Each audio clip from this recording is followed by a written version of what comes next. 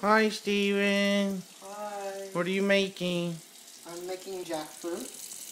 And what does it look like?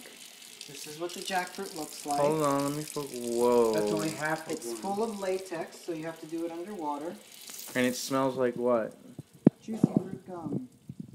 What else? How would you explain the flavor? Tastes sweet.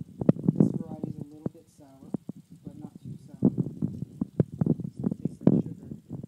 It's very sweet. Show the seed. Let me see the seed.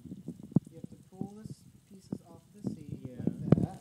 Don't worry about cutting that. Mm-hmm. So you have to cut that part. Then you cut it down the center. Take a seed and the seed And you can roast the seed? Paw out. You can roast the seeds, and, And they, they taste, taste like, like- chestnuts. Right. And that's what it looks like after you're done. Beautiful.